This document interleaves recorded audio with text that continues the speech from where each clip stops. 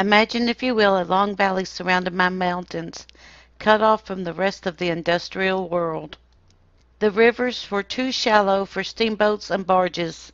The nearest railroad was across the mountain in another state.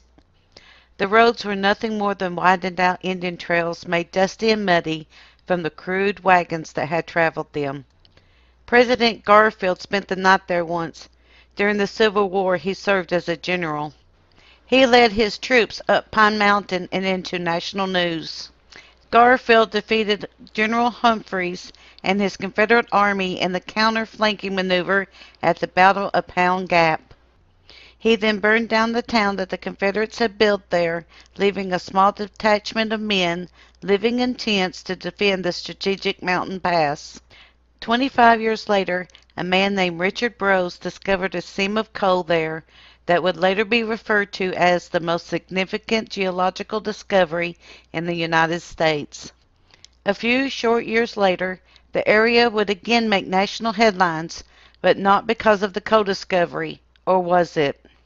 Just across the mountain in a place that would later be known as the Killing Rock, a group of men ambushed the Mullins family. The newspapers called it one of the greatest murder mysteries of all time. However, because of the way the case was overseen, 129 years later, the local people are still asking, was the right man hung for the crime? But 20 years after the murders, a story about the coal did hit the local and national news.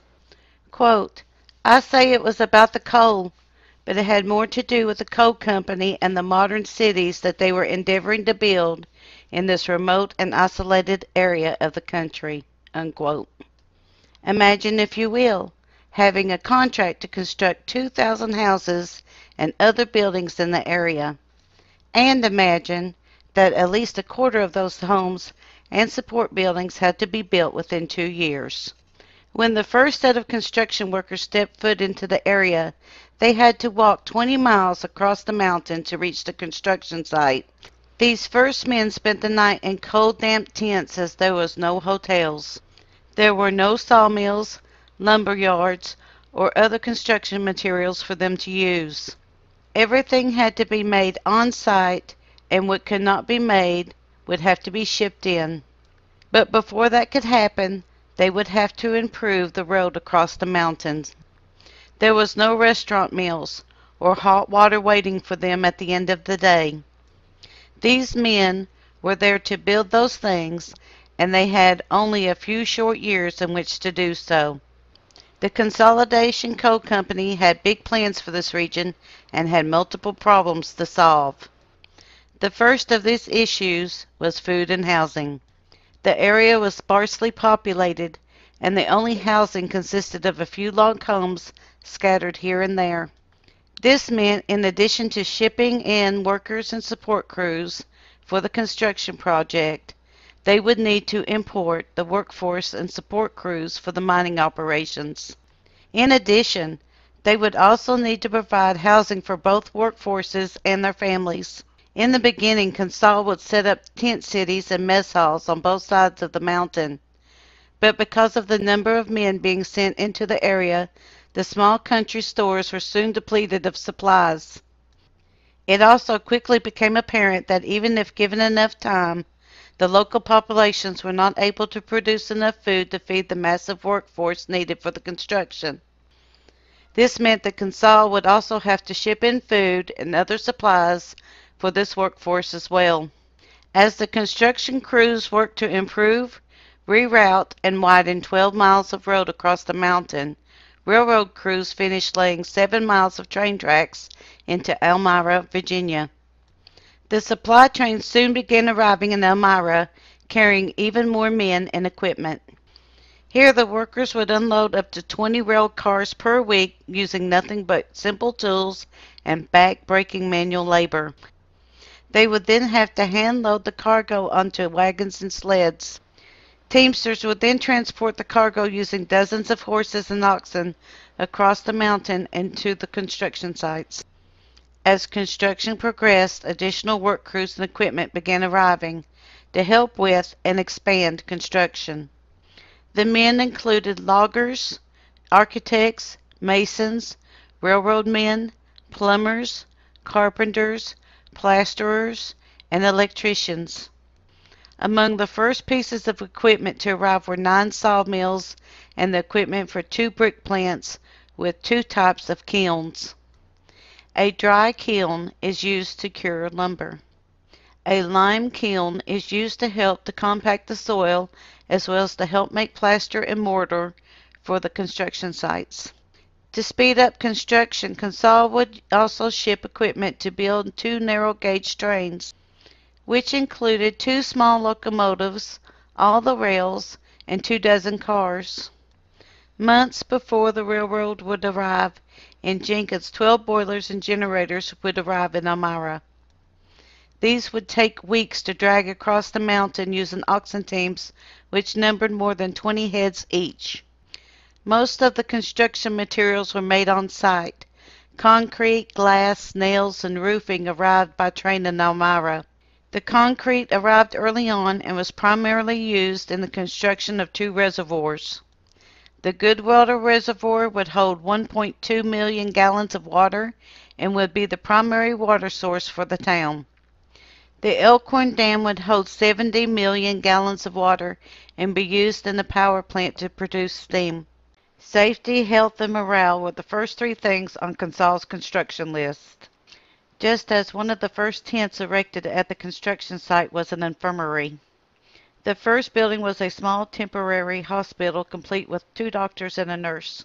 This not only boosted the morale and safety of the construction workers, but as part of the deal made with Mayo, it opened its services to the local population, which boosted its public relations.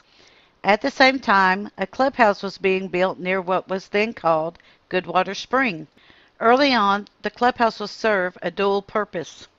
The first had to do with health and hygiene. Because of its location, it was the first building in the region to not only have running water, but to have hot and cold running water. The clubhouse would also serve as a more permanent mess hall, a bathhouse for the men, as well as a construction office. Other parts of the building would serve as a housing for supervisors and visiting company officials. There were other temporary buildings constructed for the benefit of the construction crews. These included a YMCA building which gave the men a place to relax, a bakery which prepared fresh bread three times a day. The bread would be loaded onto wagons by the shovelfuls three times a day and delivered to all the active work sites. The Consolidation Coal Company contracted with Nicola Construction Company of Pittsburgh, Pennsylvania. The goal was to design and build a total of seven towns and two divisions. Although the primary buildings in Jenkins were constructed of brick, there would be many buildings constructed using wood lumbered, milled, and cured on site. This included thousands of homes and other vital buildings in each division. The first division was Elkhorn Division, named after Little Elkhorn Creek of the Big Sandy River on which Jenkins sits. The other division was on the North Fork of the Kentucky River, and unless more information comes forth, we can only guess about the name of the division. What we do know is that Consol trademarked three coal brands to be used in association with the coal mine in Kentucky, of which only two were used, Grenadier and Cavalier Coal. Although we do know the name of the third trademark and the probable reason it was never used, we will not discuss it here but do look for it in a future video. As they would oversee the construction of the houses and other wooden structures built in the area, the Nicola Construction Company brought in thousands of men to do the job.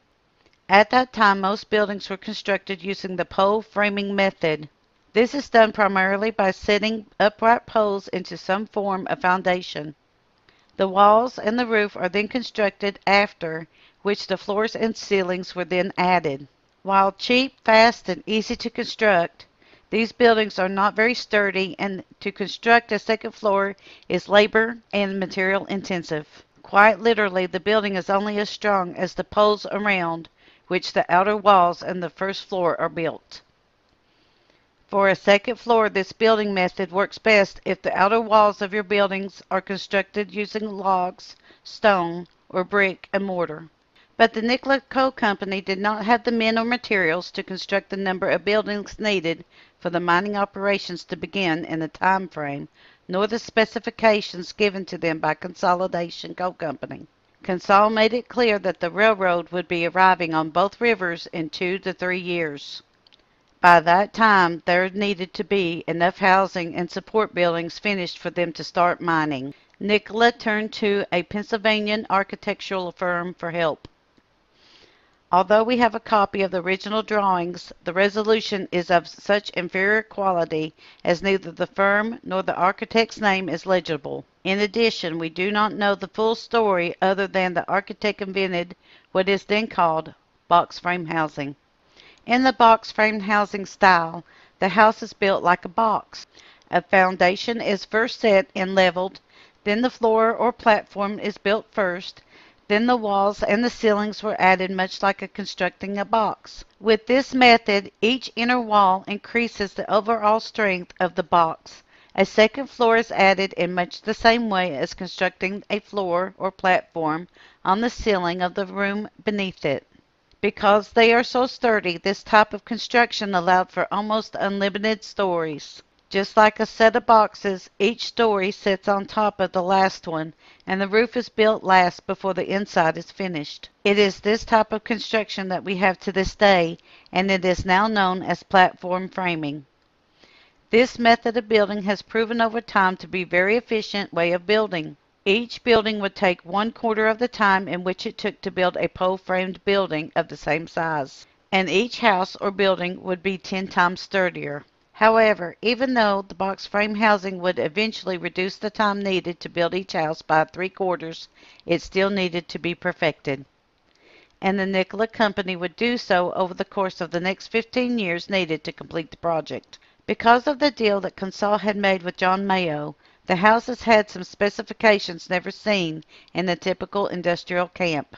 Most camp houses were typically nothing more than shanties. But the houses that Nicola was to build for Consol were to have a fireplace, closets, a kitchen equipped with a cook stove and pantries. In addition, each house would have electricity and a covered porch. The houses would also feature a modest yard for gardening and a private outhouse. By the 1920s, most of the houses would have running water, but the outhouses were still used for many years. There were very few single-story homes built in the Consolidation Coal Camp areas of Letcher County, most of which were constructed after the sawmills were moved out and the construction was winding down after World War I. By this time, the Nicola Company had perfected the box frame method. They were also shipping materials pre-cut and marked for construction into the area by train. This method caught the attention of another company that had offices in Pennsylvania. The Sears Roebuck and Company had offered a mail order home catalog since 1890, and the latest offering was in 1919, but all the efforts were a failure. The process worked like this. For $100, the Sears Company would sell you a blueprint for a house. The blueprint would come complete with a list of supplies and materials needed to construct the home and the estimated cost of the construction. This worked for a varying degree over the years, depending upon where you were in the country. Sears would end up subcontracting with the companies across the country to supply the materials and build the homes as these plans were often of complex nature.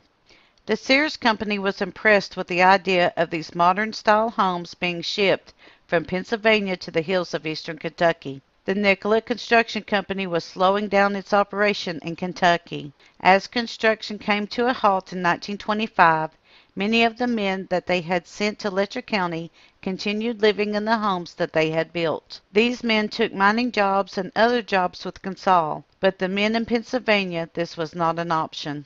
In 1927, the Sears Roebuck and Company printed the new mail order home catalog.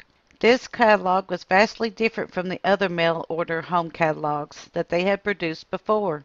The catalog introduced the honor built system in which they sent you the blueprints, materials, and instructions for as low as $2,400. They also had an easy monthly payment plan for those on a budget.